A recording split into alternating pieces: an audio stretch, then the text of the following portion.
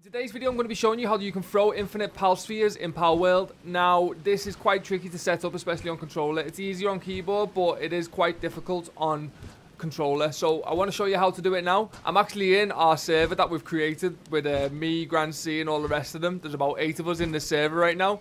And I don't think Grand C is happy I'm making this video, but I'm making it anyway because I just want to show you guys how to do it. I'm not catching no pals. I just want to show you how this is done. I wanted to do this in my offline server, but it weren't working for me. So anyway, anyway. Grand C, don't ban me. I'm okay. I'm not going to catch any, the evidence. So, we're going to do it now. I'm going to show you how to do it. And, yeah, we'll um, go from there. It's quite difficult, I must say. I must say. What do you need for this glitch? You need a mount, and you need pal spheres, and that's pretty much it. So, I've got my mount now. I've got this Nitewing. And what the idea is, you're going to throw a pal sphere, but you're also going to open your inventory pretty much straight after. I'll show you how when it doesn't work, because it's probably going to fail the first time. So, I'll show you right now. So I'm going to throw the pal sphere and then open. See the way it switched back to holding the torch? That is wrong. So we're going to try again. This is also wrong. So I'll show you now. Because there was no noise of him actually throwing it, this is going to be wrong. So if I get off, he's not actually going to be able to throw this. As you can see, he's locked in position.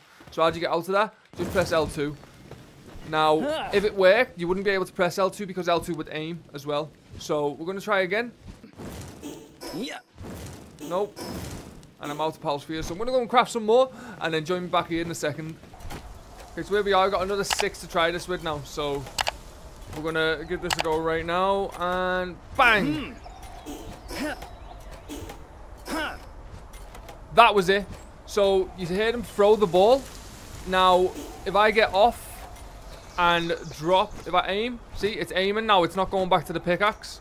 So now I aim and we drop these power balls so we can save them then. And if you also want to drop the like better ones like your megaspheres and stuff like that, it's probably best to. So we've also got gigaspheres here as well. So we'll drop these on the floor just for now. And now we can just throw infinite power balls just like that. Hmm.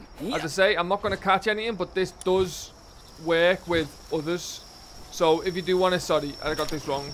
So when you get the gigasphere right here, you need to switch to it and then drop it. You can't switch to something you haven't got, which makes total sense. So, yeah, there you go. And then you just control hmm. Gigaspheres if you wanted to as well. And there you go. Have fun with it until it gets patched. Uh, I just wanted to cover it because I thought it was a cool thing to cover. Um, I probably will use this in the offline server just for a bit of fun. And yeah, that's pretty much it.